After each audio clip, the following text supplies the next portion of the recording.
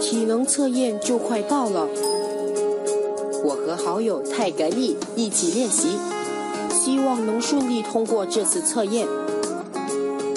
为了保持身体健康，我们一直都有运动。我和泰格利约好在公园里锻炼，可是他到现在还没来。他终于出现了，他一边走一边吃。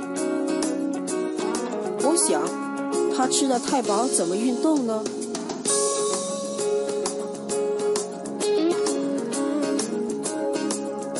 果然，他的肚子不舒服了。第二天，我和泰格利约好在祖屋楼下一起温习功课。这一次，他又迟到了。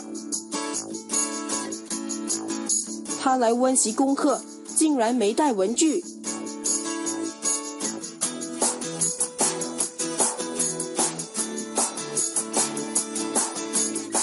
我想，作为他的朋友，我是不是应该指出他的坏习惯呢？他已经离不开垃圾食物和汽水了。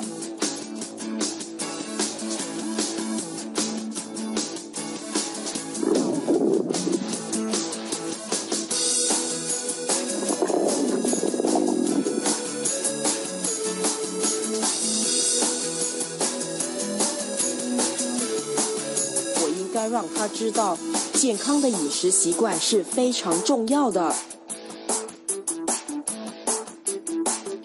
希望他能够注意饮食，远离这些不健康的食品。